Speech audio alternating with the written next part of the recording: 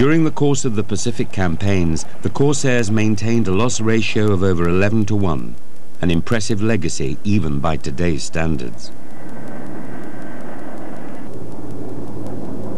The end of the war coincided with the crossroads in engine technologies.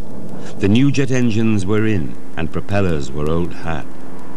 War spending budgets were being cut, and in an odd twist to satisfy their lend-lease requirements on their planes, the British were forced to dump their F-4Us at sea.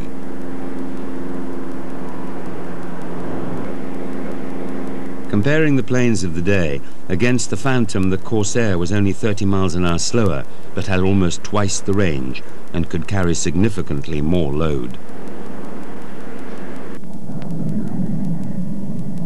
As a mark of their abilities, the Marines and the Navy kept their F-4Us when most other models were simply scrapped.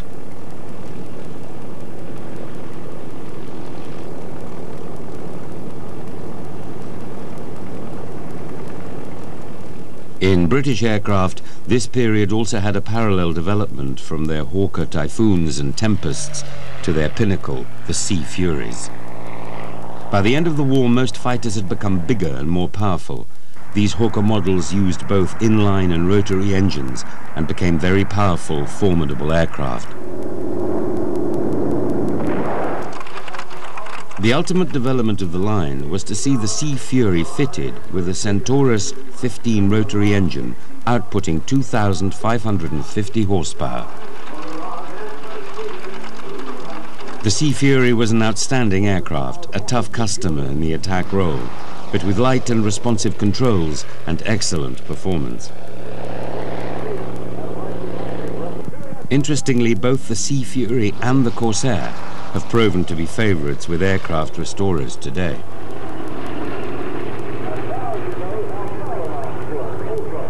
These Sea Furies were flown in Australia's island state of Tasmania in a recent air show and pylon race. The performance of these planes even today makes them an inspiring sight. Their classic shapes and throaty engines always draw large crowds in the hope of seeing a piece of classic aeronautic history.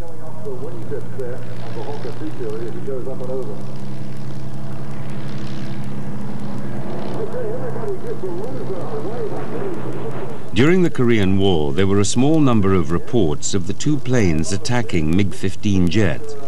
One was of eight MiGs trying to outturn four FB-11 Sea Furies and losing two jets to the propeller-driven plane's cannons.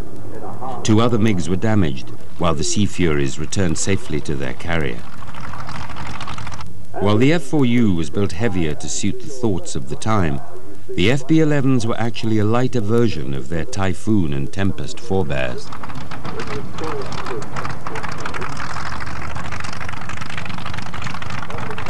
In Korea, the carrier attack squadrons of Corsairs and Douglas Skyraiders were used very effectively in the area of close-in ground support and night interdiction missions.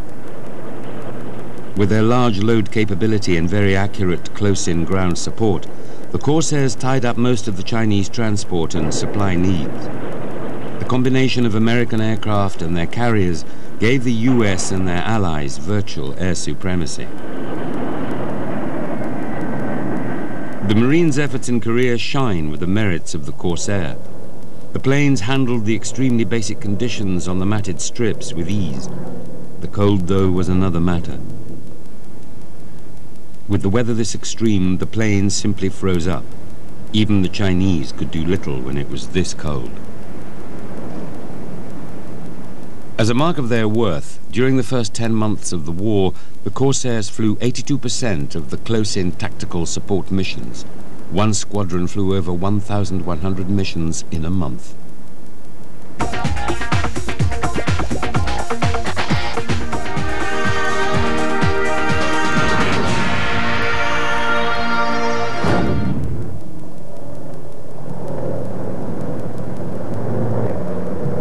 Corsair's production ceased in December 1952, and by December 1954 all units in service were withdrawn to the reserves. The last Corsair, the 12,571st, was delivered in February 1953, and the last operational carrier landing of an F-4U Corsair was made on the USS Valley Forge in 1956. Some other countries continued their use into the 1960s, but their days were obviously numbered, and they were replaced by newer and faster jets as technology finally caught up with them.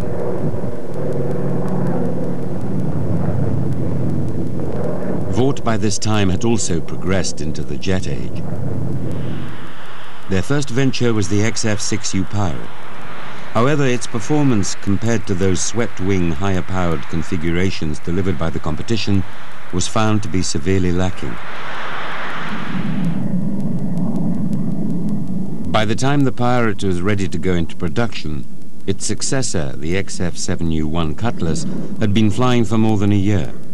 The radical swept-wing tailless F-7U Cutlass naval fighter first flew in 1948, and the first F-7U-3 made its debut in December 1951. The Cutlass again suffered from the problem of being underpowered, though this is probably more a reflection of the state of development in jet engines of the day. Production was cut back in 1954, and it was withdrawn from service in 1957.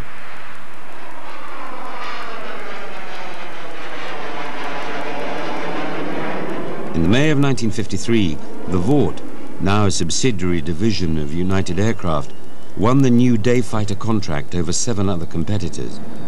The new fighter, the XF-8U-1 Crusader, flew supersonic on its maiden flight on March the 25th, 1955. Vought again used a new concept to win the contest, the variable incidence wing.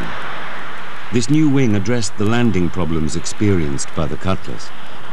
On takeoff and landing, the XF-8U's wing could be pivoted up by 7 degrees, allowing the wing to assume a higher angle of attack and thereby lowering the approach and takeoff speed. This also kept the fuselage level and provided the pilot with good visibility. In addition, the raised wing's center section acted like an air brake, reducing landing speed further, allowing greater safety and control on landings.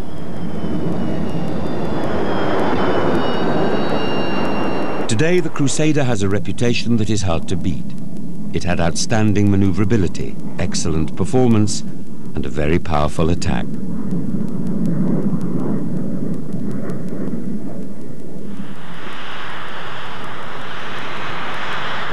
In 1956, the US Navy again called for submissions on an all-weather interception fighter. This time, Vought's entry was the XF-8U-3 Crusader 3. During flight testing, this plane demonstrated speeds of Mach 2.2 and an altitude of nearly 90,000 feet. The Crusader 3 was never flown to its limits because of the windshield assembly limitations. It was thought that without the windshield limitations, it could have reached speeds as high as Mach 2.7 or 2.9 at 35,000 feet. Unfortunately for Vought, the inspiring McDonnell F-4 Phantom beat the plane in the contest.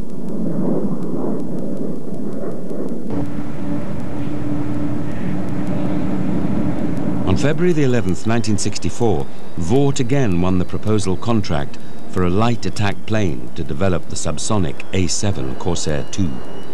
It was developed from the supersonic XF-8U, but it was the first supersonic design adopted into a subsonic craft. While the lineage from the F-8U is unmistakable, the Corsair II was in fact a totally new plane.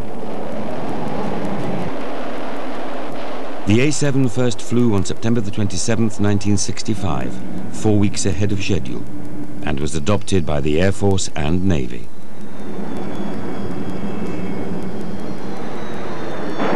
In April 1968, the American Marines received their first A-9Ds. These were the first U.S. Army subsonic fighters in 15 years. The A-9 Corsair IIs would fly for almost 20 years, and they were only replaced by F-18 Hornets in 1985. The last of 850 A-7s were retired from the Navy's inventory following participation in 1991's Desert Storm combat operations. These were, for their time, the best light attack aircraft ever produced. Unfortunately, the A-7 Corsair series was the last fighter aircraft wholly designed and produced by the company. The achievement over this time, from the first carrier landings to the ultimate in propeller-driven fighters and into the jet age, shows how the Vought company has earned the respect it has achieved over the years.